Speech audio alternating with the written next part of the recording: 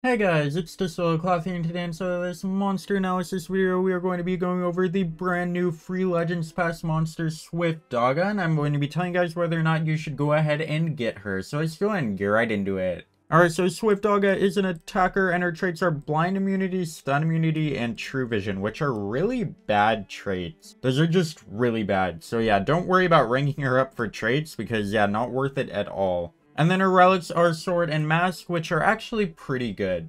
And then if we go on down to her pros and cons, we have a decent power and relics, acceptable trait, which honestly I don't think that's true at all. Nature and a magic meta, access to bleed and toxins, and access to positive effect removal, which is really good. And then her cons are horrible life, metal and a magic meta, pitiful levels of raw damage, Abysmal cooldowns on extra turn moves, meaning she definitely can't infinitely chain, which is kind of annoying. And Anticipation will kill her very easily since she has a lot of extra turns. And now let's go on down to her move set. So she has a 30 metal damage with Bleed, Toxins, and an extra turn, which is really cool. That is actually a pretty great move. And then she also has an Toxins AoE with Bleed, which is really good. She also an extra turn with 20 metal damage, and she has a True Vision Possession immunity with an extra turn. Which honestly, that move isn't very great. But it can help get the cooldowns down on your other extra turns, which is pretty good. But of course, since they do have really high cooldowns, you will not be able to chain them at all. But at least next turn you will be able to since you can go ahead and just use this extra turn to bring down their cooldowns a little bit. So yeah, that's some pretty decent moves. You will be able to use them all in one turn, which is really cool. You'll be able to do a little bit of damage with that. Yeah, she doesn't have too high damage, but she does have negative effects that can help lower their health even more, which is really cool. So yeah, she does seem pretty decent. She isn't super powerful, but she can do quite a bit of damage. And of course, her stats are